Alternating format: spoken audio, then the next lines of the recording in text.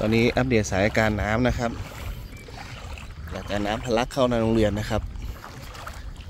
โอ้โหคือน้ำทะลักเชี่ยวมากเลยครับ ตอนนี้นะฮะโอ้นี่ถนน เข้าโรงเรียนนะครับเข้าโรงเรียนไปสวนกีฬานะครับ โอ้โห โอ้ไปไหนไปไปไปได้แล้วก็ไปไหนไปห้องน้ำครับมาได้แล้วได้อยู่ไปดิอะเกี่ยวลึกก็ได้อ่าเราเข้ามาแล้วมามาแล้วดูครับ โอ้ไหวกันแน่โอ้โต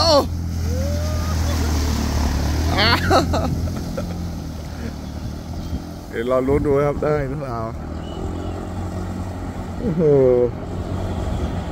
คือน้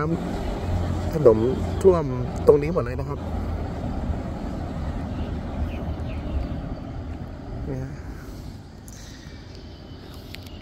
แต่โดยอาคารเรียนไม่เป็นไรนะครับอาคารเรียนไม่เป็นไรนะครับ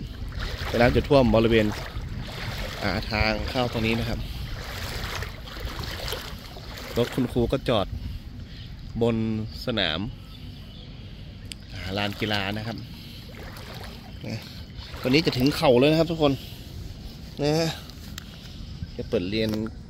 กว้างๆหน่อยนี่ครับนะตอนนี้สามฟุตซอลท่วมแล้วนะครับ สูงประมาณ 40 เซนแล้วนะครับตัวนี้เอยถนนถนนตรงนี้นะครับแต่ศูนย์กีฬาปลอดภัยดีอยู่นะครับ คือน้ำทะลักมาจากหมู่บ้านนะหรือคูคลองชุมชนนะครับเนี่ยเริ่มทะลักมาโอ้โหเชี่ยวมากเลยครับนี่ยที่หลายจุดก็ต้องระมัดระวังแล้วนะครับ เพราะว่าโอ้โหตัวนี้ครับ สนามฟุตซอลไปแล้วนะครับสื่อกีฬาของเรา โอ้โห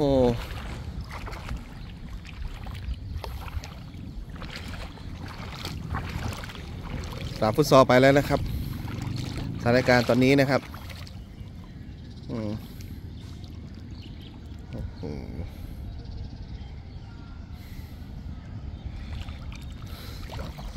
ไม่เหลือแล้วนะครับ